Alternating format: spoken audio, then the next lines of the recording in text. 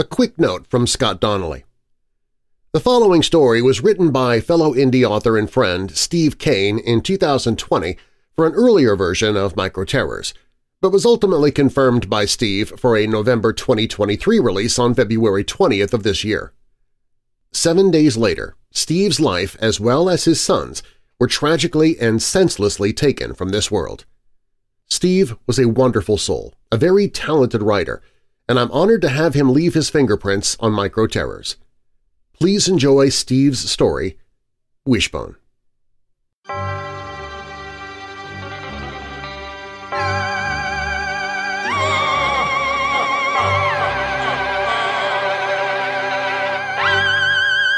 Welcome to Micro Terrors.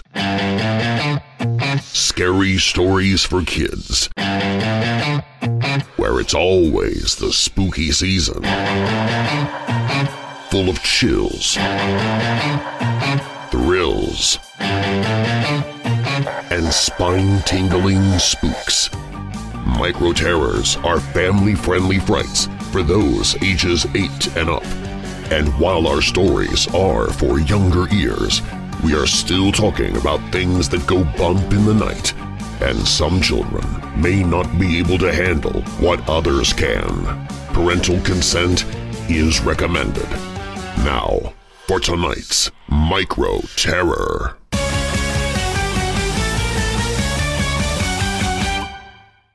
Wishbone by Steve Cain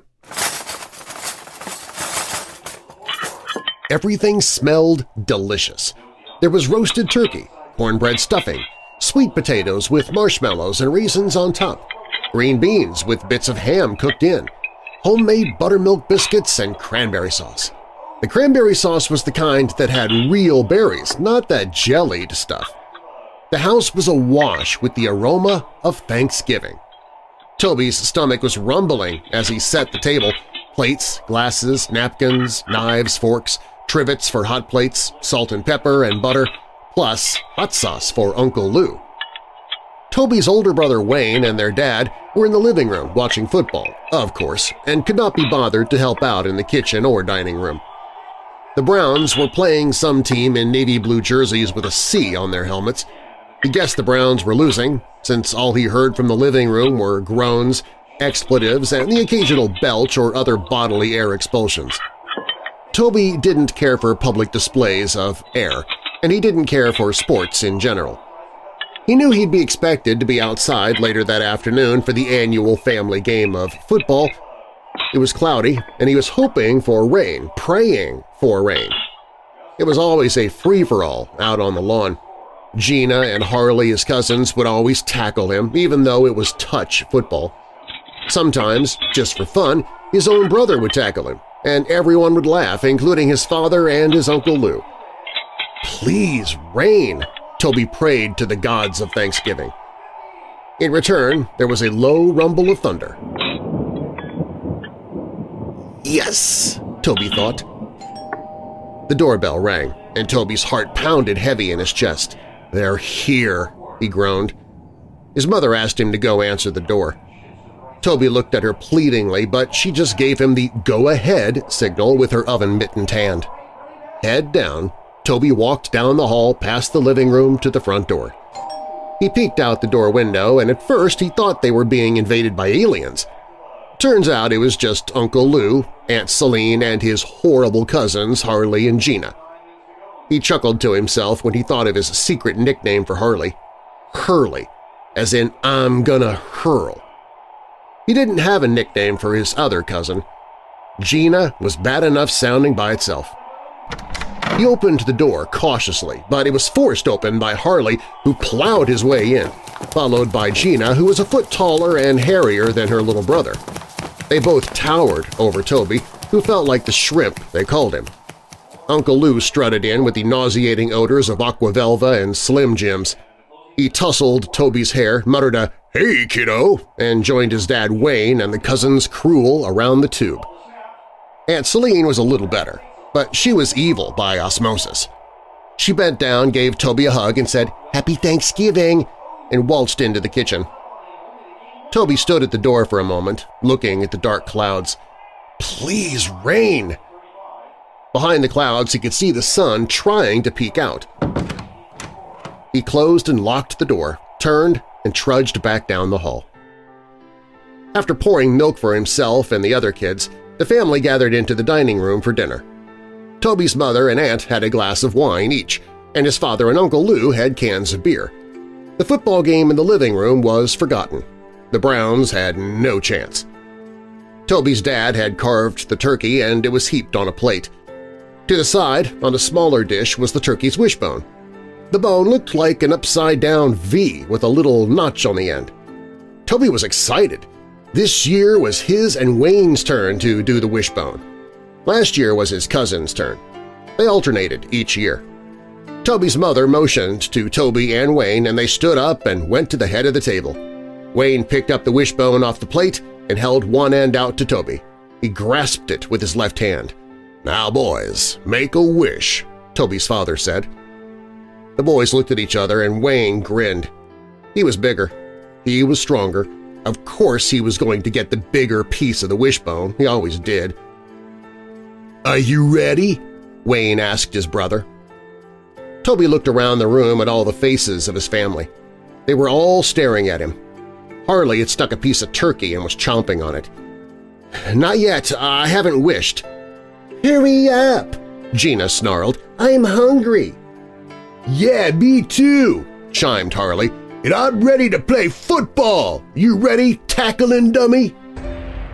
Toby looked around again. He was nervous. Wayne was smiling and his teeth looked like fangs. Everyone at the table looked like monsters. Wayne, Toby's dad, Toby's mom, Harley, Gina, Aunt Celine, Uncle Lou, they all looked like hideous monster aliens. Football! chanted Gina, and everyone joined in. Football! Football! Football! No! Toby cried. I hate football! I hate it! He tried to pull on the wishbone, but Wayne held on. Football! Football! Football! I hate it! Football! Football! Football! The voices grew louder. No! shouted Toby, Wayne was snarling and his teeth stretched out of his mouth down past his chin. Football! Football! Football! Shut up! The family had taken up knives and forks and were banging them on the table in time with their chanting, which grew steadily louder. Football! Football! Football! Football! Football! Football! Football! Football! Football! I hate football! Toby yelled. If y'all love football so much, you should all be footballs! I wish you were footballs! Toby yanked on the wishbone. Wayne yanked back. They pulled and pulled, and the wishbone snapped.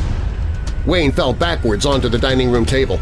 Turkey, gravy, and stuffing went flying through the air. Toby's mother screamed. Then everything went silent. Toby looked down at his greasy hand. He had the largest piece of the wishbone. He smiled and looked around at the now messy dining room. None of his family members were there. Where were they? He looked again. In his father's chair sat a brown, oval piece of leather with white laces on top. It was a football. Toby went around the table.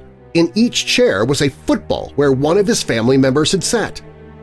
On the floor next to the refrigerator was another football where Wayne had fallen.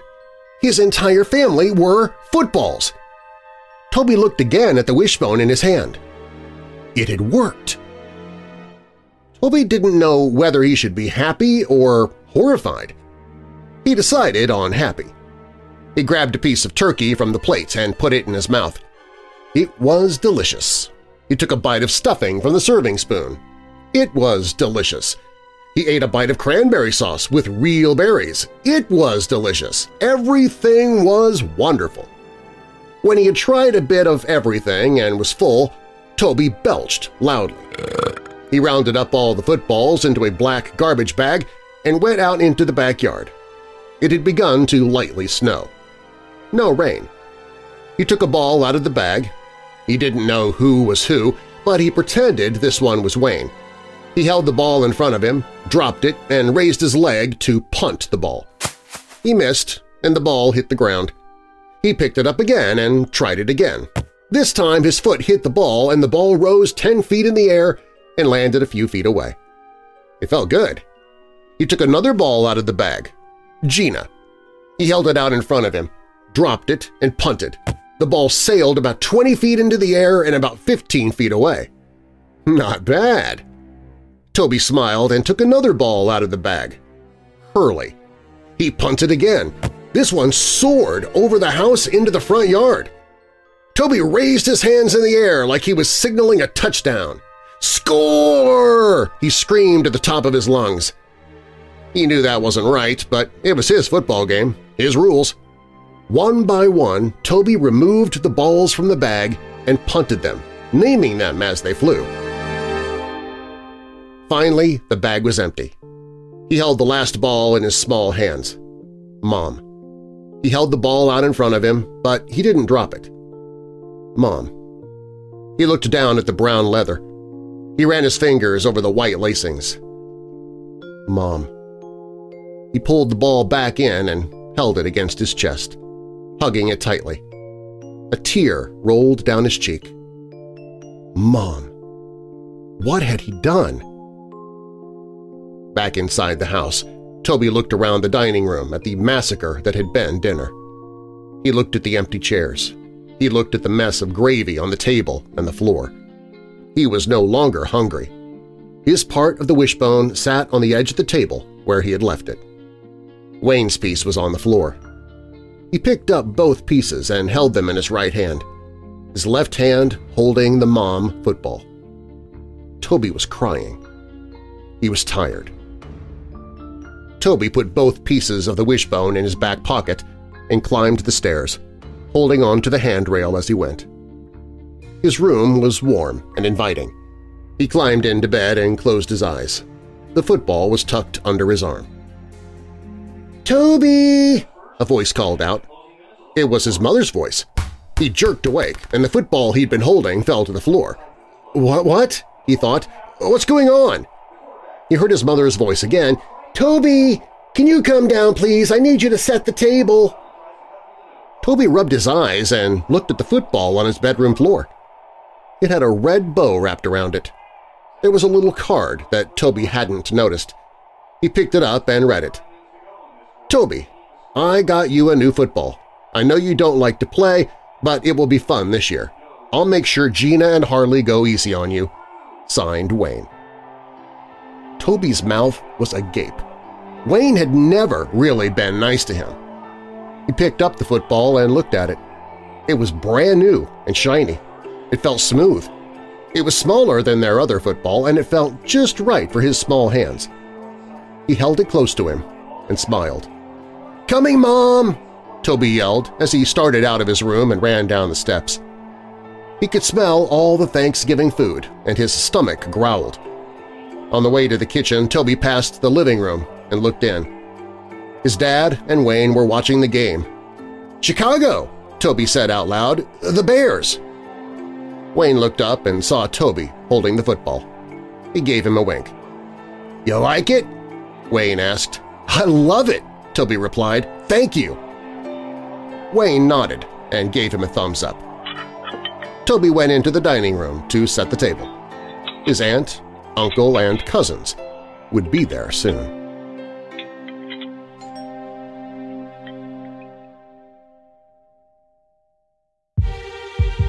Thank you for listening to Micro Terrors. Join us each Saturday for another scary story. For more fun, visit our website at microterrors.com, where we will also have spooky games you can print out and play like wicked word searches, mysterious mazes, and more. Microterrors.com is also where you can find us on your favorite social media and even send in your own scary story for us to tell. Plus, you'll learn more about our author, Scott Donnelly, who has other horrors for both young and old. I hope you'll join me again soon for Micro Terrors Scary stories for kids. Hey Weirdos! Be sure to click the like button and subscribe to this channel and click the notification bell so you don't miss future videos. I post videos seven days a week. And while you're at it, spread the darkness by sharing this video with someone you know who loves all things strange and macabre. If you want to listen to the podcast, you can find it at WeirdDarkness.com listen.